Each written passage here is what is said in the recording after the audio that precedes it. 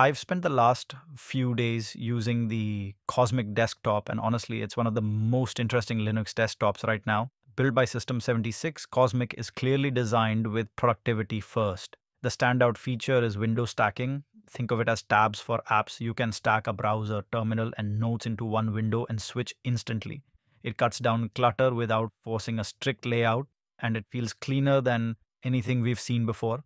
Cosmic also supports both tiling and overlapping windows, and you can switch per workspace. Tiling for focused work, overlapping for casual multitasking. That hybrid approach is a big win. The built-in apps are lightweight and clean, and the settings app is refreshingly simple. Customization is focused.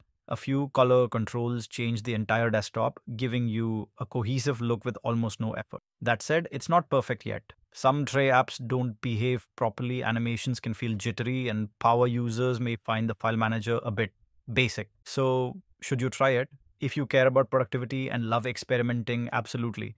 If you need total polish, it might be worth waiting a bit longer. Subscribe for more Linux deep dives and tell me in the comments if you daily drive Cosmic.